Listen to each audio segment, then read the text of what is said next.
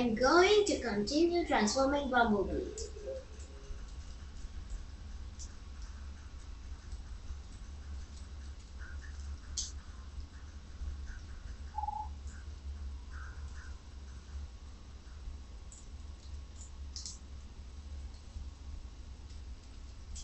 Okay, done.